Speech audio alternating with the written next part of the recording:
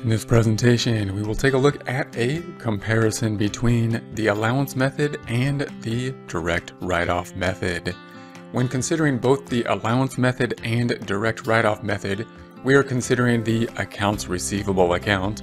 Remember that the accounts receivable account represents money that is owed to the company, typically from sales made in the past on account, haven't yet received the funds for sales made in the past, and therefore the company is owed money. We see this amount on the trial balance, in this case 1,191.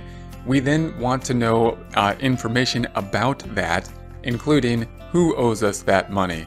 We can't find that typically in the GL as we have a GL for every account, the GL only giving us the information by date. Typically we want to see that information also broken out in the subsidiary ledger saying who owes us this money. A problem that we have is that the accounts receivable represents funds we have not yet received and may not receive if there is some problem with some customers we might not get the funds. The question then is, should we be writing off this amount at the point in time that we believe we're not going to be able to receive it? Should we be estimating how much we think is not going to be collectible or waiting until the end of the time period until we determine that something will be uncollectible?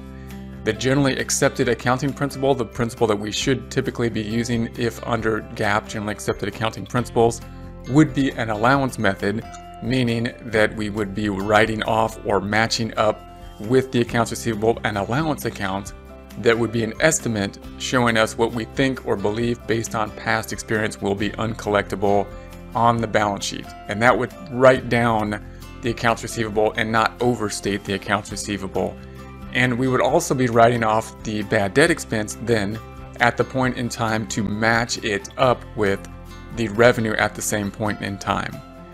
The other method is going to be the direct write-off method, which typically is not a generally accepted accounting principles method unless the amount of uh, the uncollectible receivables is